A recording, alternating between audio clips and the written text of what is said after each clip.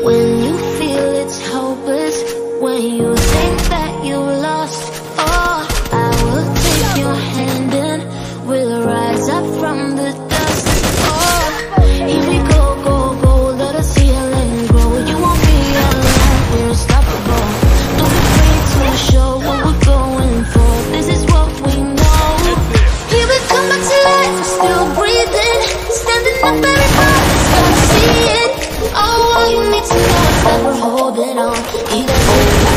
we will rise up.